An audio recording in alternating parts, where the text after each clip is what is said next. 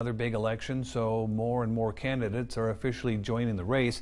13 on your side's Arlette Youssef has more on the former Yuman's campaign. Andrew Gould kicked off his campaign for Attorney General today at the front steps of the historic Yuma County Courthouse, where he started his career in the mid 90s. A former Yuma judge who eventually sat on the Arizona Supreme Court, Andrew Gould says Yuma never left his heart and he wants to help fix the immigration problem along the southern border. Immigration is something that people can debate about what our laws should be. We do have laws on the books.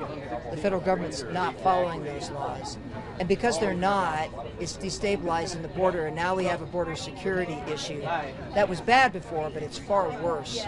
Friends call him Andy, but Gould is known for upholding the law.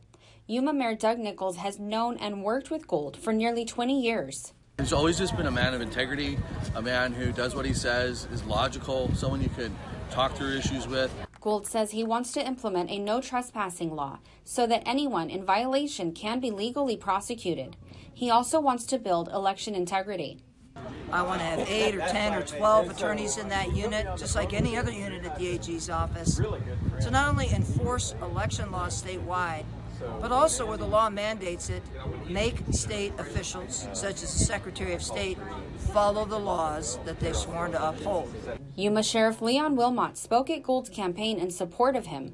If you don't like a law, change it. Until then, you've sworn an oath to uphold it and do your job. And that's that's what Andy's about.